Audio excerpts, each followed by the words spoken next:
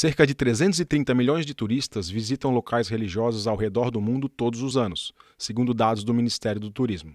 No Brasil, o Círio de Nazaré, que ocorre anualmente em Belém do Pará, a visita ao Santuário de Aparecida, em São Paulo, e ao de Santa Paulina, em Nova Trento, são exemplos da força cultural e econômica dessas manifestações que mexem com a fé da população. De olho na importância desse movimento, foi aprovada na Assembleia Legislativa a lei que cria o Caminho do Louvor em Santa Catarina. A rota, que tem 130 quilômetros de extensão, começa no Alto Vale do Itajaí, no município de Tuporanga, passa por Vidal Ramos e Leoberto Leal e termina no Santuário de Santa Paulina, em Nova Trento, na Grande Florianópolis. A lei foi recentemente sancionada pelo governo do estado e o autor da proposta, deputado Milton Obos, detalha a importância de tornar a rota oficial.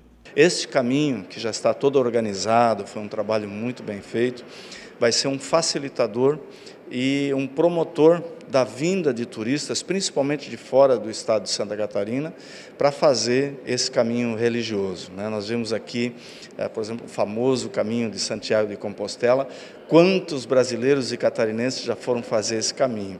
Então, o turismo religioso é algo importantíssimo para um, para um povo cristão né?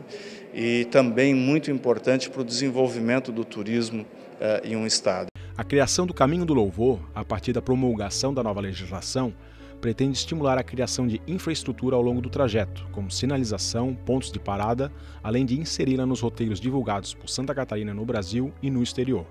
Boa parte do percurso é feita pelas montanhas da região, por estradas vicinais, trilhas, bosques e comunidades rurais, com belas paisagens do Vale Europeu Catarinense. É muito importante para o turismo religioso de Santa Catarina o nosso Alto Vale do Itajaí, através da cidade de Tupuranga, com investimentos que foi feito lá é, da, da, estátua da Nossa Senhora de Lourdes e, e, foi denominado esse Nossa Senhora de Lourdes e do Louvor.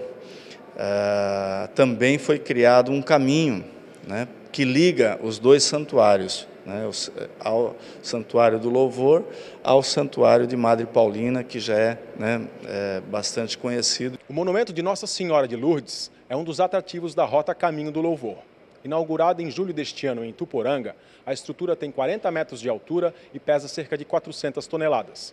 Para chegar até a escultura, é preciso subir uma escadaria com 460 degraus, onde estão instaladas 12 estátuas dos apóstolos. O local também é acessível para veículos. Que tal incluir essa parada no próximo passeio? Te esperamos para uma visita inesquecível.